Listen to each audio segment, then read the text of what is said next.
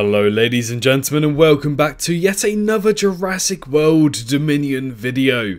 In today's video, we'll be answering the question as to whether or not the Therizinosaurus was blind during the events of Jurassic World Dominion.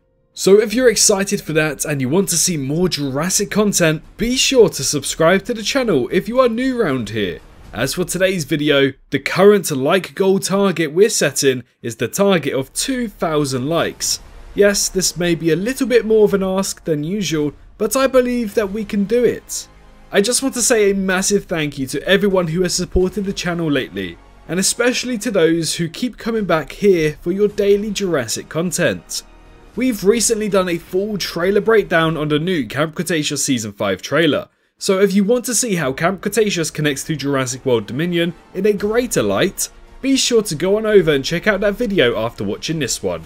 And obviously, the spoiler free weekend ended back on June 13th, so if you haven't seen the movie yet, spoilers will be in this video.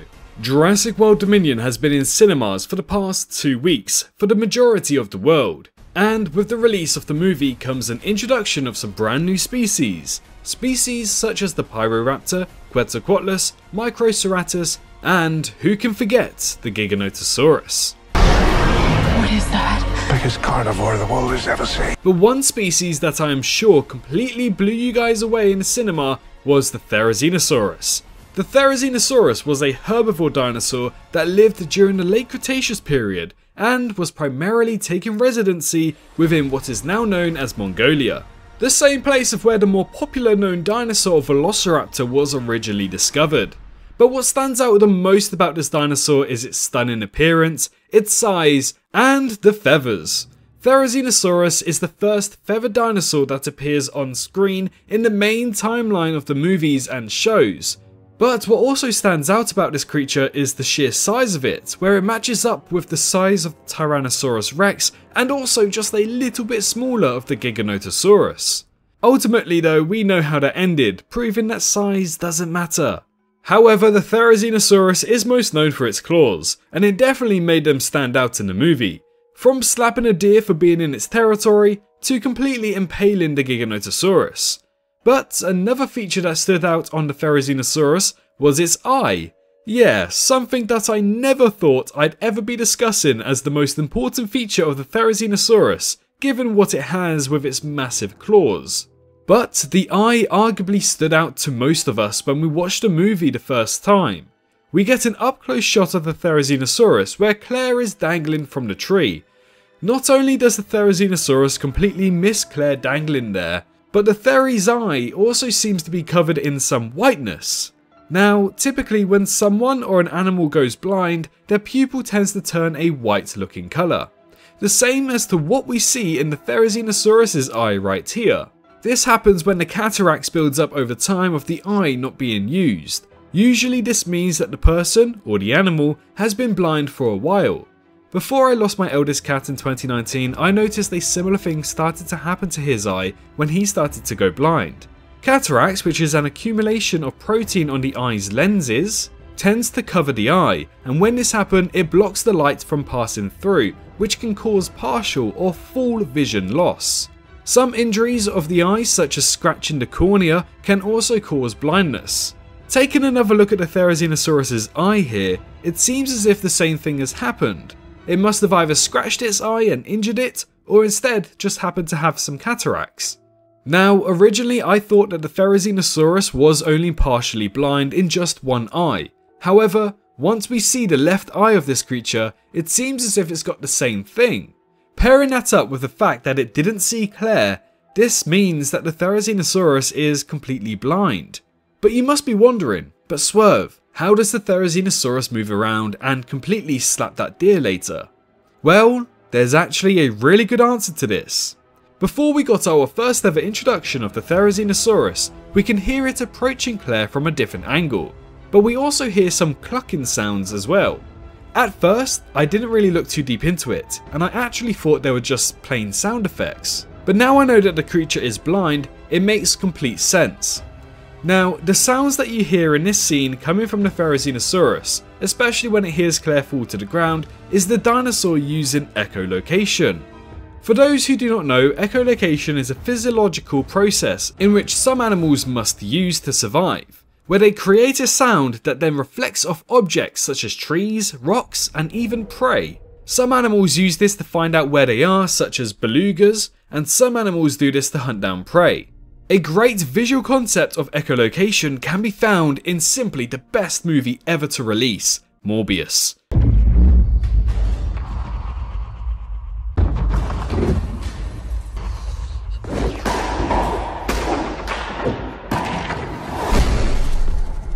Wait, does that mean that the Therizinosaurus actually has Morbius DNA within it? Does that mean that the multiverse has really opened? The multiverse has officially opened.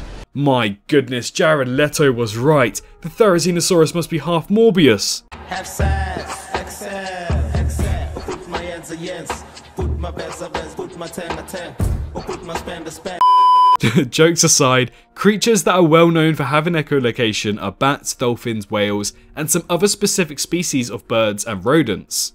We can clearly hear and see that the Therizinosaurus is making some clucking sounds, whilst looking for Claire, which can only mean that this is the Therizinosaurus using some form of echolocation. Rather interesting if you were to ask me. Now, how did the Therizinosaurus know that the deer was just standing there where it was?